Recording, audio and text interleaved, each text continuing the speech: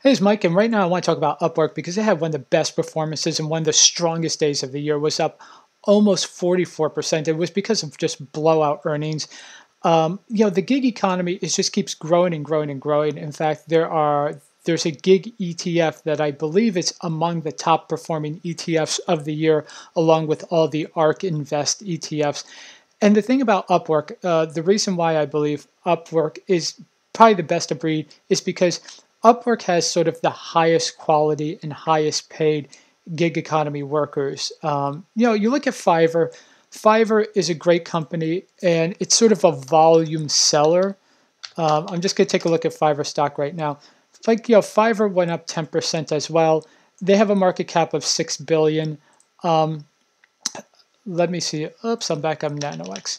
Um, but Upwork has a market cap of about a little more than half that of 3.5 billion. However, with Upwork, the workers there, they're more, a lot of them are full-time uh, gig uh, workers and high high uh, level professional workers. So I do think that Upwork has the potential to catch up with Fiverr. So, you know, up this stock being up 40%, it was a you know two billion dollar stock a couple days ago. Now it's at 3.4.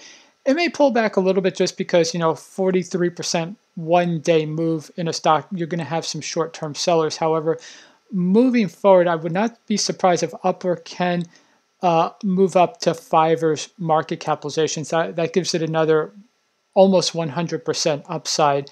Also, it looks like if we do, if the second shutdown does intensify that means offices will close, people will get laid off, and more people will go into the gig economy. Um, and usually, what happens is people will start off with like places like Fiverr where they do work for 10, 20 bucks, and as they gain experience, then they move up to Upwork um, and get those higher paid jobs. So I would definitely keep an eye on Upwork. I would definitely keep an eye on the gig economy as well. I mean, Fiverr is doing well, Upwork is doing well. Um, I'm going to look just real quick the gig uh, gig ETF. Let me see if I can find it. It's this SoFi GIGE. And let me look at because I know it's been a big performer. Let's see. Yeah, it was up five percent, and um, the year to date it's been it's almost doubled. And I know for we see you're used to seeing stock go up four or five hundred percent, but for an ETF to go from 18 to 32 year to date is is really incredible. So if you're worried about individual stocks, definitely look at the um, SoFi Gig Economy ETF GIGE. Um, however, if you want to take a chance, the Upwork stock does look good. Just expect it to pull back a little bit, but this is really great news um, for this company. I remember I used to be on it when it was Odesk.